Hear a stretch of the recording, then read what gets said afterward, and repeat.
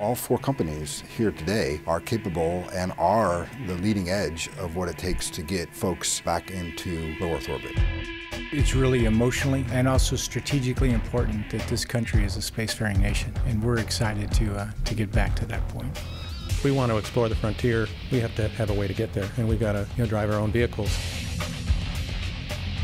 the idea of creating American jobs and American industry and, and moving forward, not just the hardware and the people, but the future of our, our, of our children who are looking towards what they want to do with their future.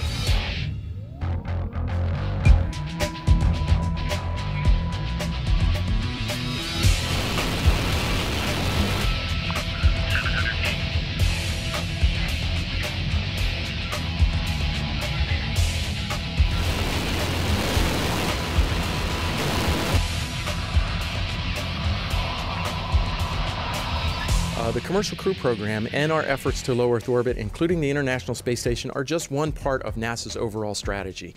We obviously have a deep space exploration strategy.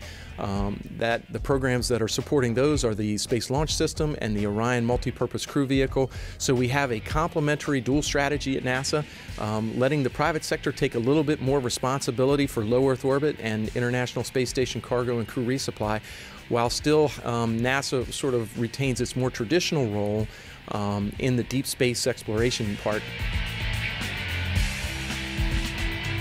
We felt looking at this, uh, this program that was rolling out in, a few years ago was a way to significantly accelerate our efforts.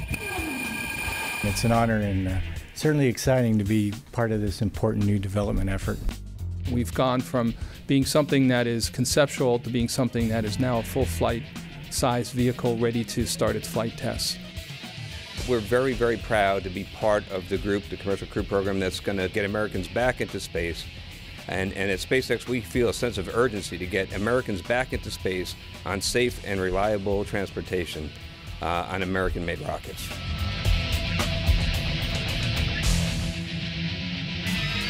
The partnership between uh, NASA and each of these companies clearly shows that uh, we have a very vibrant uh, space industry in the United States, and the space industry wants to meet the goal of getting U.S. capability back into low Earth orbit.